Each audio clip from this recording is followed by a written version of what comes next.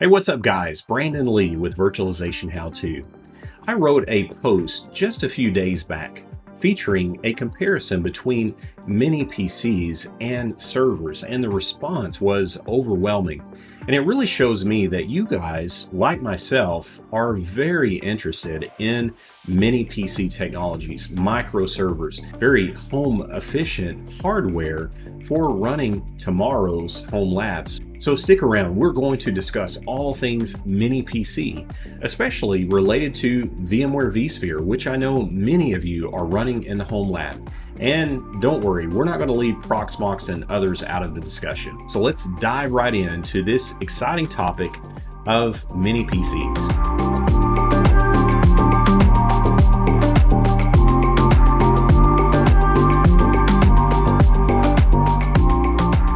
Like me, I know you guys are thinking about the next hardware purchase in your home lab. Well, knowing me, I was on Amazon the other day and I was just browsing around and saw this little device, the GMKtec G2 NUC box. And I said to myself, what if I purchase one of these and just as a blind test to see how easy or challenging it would be to run something like VMware ESXi on this little device. Now, what are the specs of the GMKtec G2 NUC box?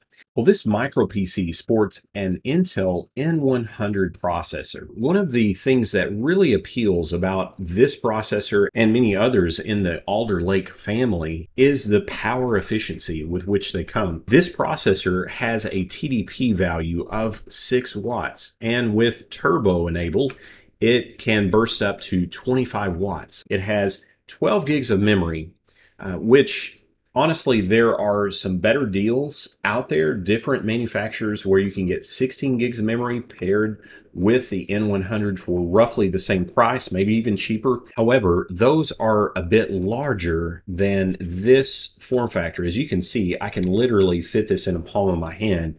So this form factor is really, really tiny when thinking about running virtual machines, what we're able to do with it. Uh, it's got dual one gig NICs now, one thing I want to mention again, this was bought sight unresearched, so to speak. So I didn't really even look at the chipset uh, on the network controllers, but these are Realtek NICs. And any that have installed VMware vSphere, you know that in the later releases of vSphere, uh, there are definitely problems with Realtek NICs and the drivers. However, you can use a USB NIC, which is what I did. And ironically, the USB NIC is a Realtek adapter, which VMware does support USB Realtek adapters. So keep that in mind. If you happen to pull the trigger on one of these devices, don't really take a look at the network adapter chipset and you do find that it has a Realtek adapter in there, you're still able to snag a USB Ethernet adapter. Uh, if you're putting on Proxmox or other open source hypervisors, they're going to load right up. Uh, no problem. In fact, I threw Proxmox 8.x on this device and it came right up with the network. Everything was great. Also, this unit came with 128 gigs of SSD storage. So not NVMe, it does accept NVMe in the 2242 slot. However, it is the B and M keyed NVMe drives, which are a bit more obscure. Now, can this little device with four cores and four threads run virtual machines? That's the question I had.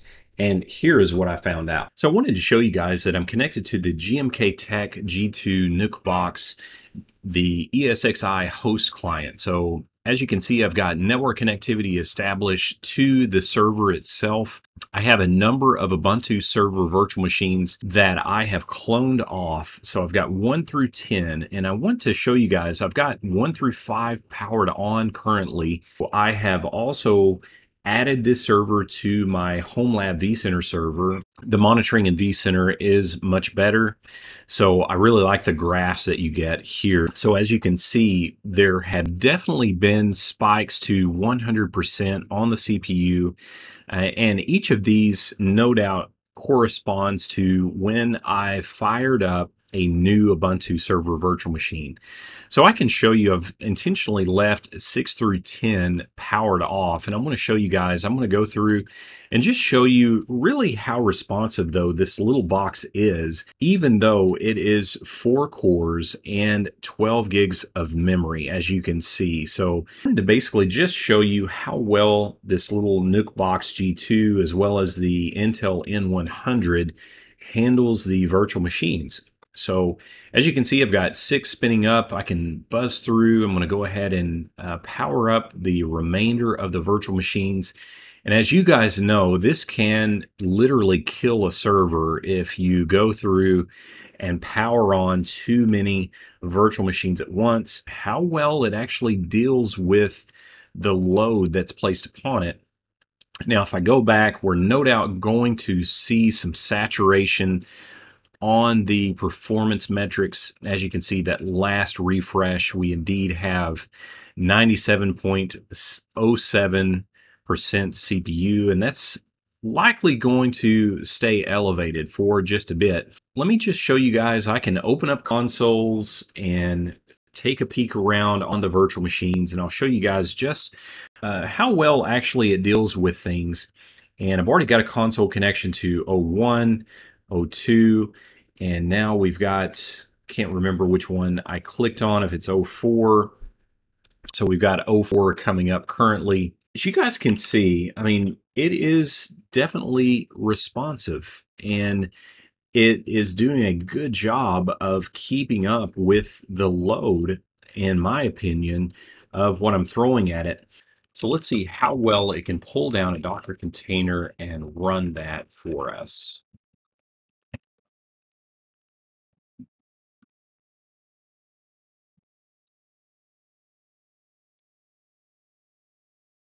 So fairly snappy, responding to commands, pulling down a Docker container. See, we've created the Docker container. And as we can see, we've got it up and running. So that's on Ubuntu 01. So thinking about this little box as a Docker container host, or if you want to play around with Kubernetes, maybe spinning up uh, three nodes uh, and running something like MicroK8s or K3S, uh, this would be a perfect solution for that. So I picked up this little device for $149. And I know many of you would probably say, Brandon, there are much better deals out there when it comes to mini PCs. However, keep in mind, I didn't research this. I didn't go out and say, what is the least expensive with the same amount of hardware specs? And I know I've browsed and actually found some that are better value for the price.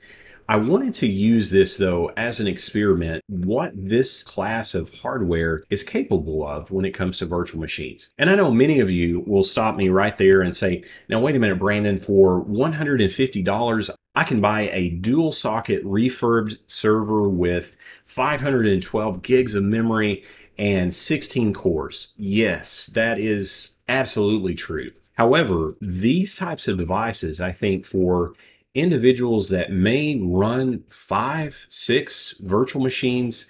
They want to play around with Docker. They want to experiment with Kubernetes. They want to run a few containers for home lab services, maybe Pi-hole, AdGuard, Technitium, uh, many other services that they want to play around with in the home lab. And at a TDP value of six watts, I would much rather have this running 24 by 7 by 365 than a legacy refurbished server that may be eating a kilowatt of power in a month's time. My home lab currently runs at around 800 watts of electrical power. And quite frankly, it adds up. And I know in many countries, the electric bills are exorbitant when it comes to running appliances 24 by 7 by 365. When I think about a lab refresh, while a year, year and a half ago, I had my mind set on maybe a full blown server, rack mount server, uh, along the lines of the Supermicros that I have currently, except with a newer model, with all of the options in the mini PC market. With the powerful hardware that we have access to, uh, these types of devices are very, very compelling. I would much rather run three, four of these at a max of 25 watts compared to my 800 watt monster when I think about the home lab. Well, guys, this has been a really fun episode to take a look at the mini PC market that is, to me, exploding. And it's really, really interesting to me to see just how powerful these devices have become in the last couple of years. Well, I'm Brandon Lee. I hope you've enjoyed this video. Please do like the video, subscribe to the channel. I've got a lot more great content coming you guys' way. Keep on home labbing. Stay safe out there, guys, and I will see you in the next video.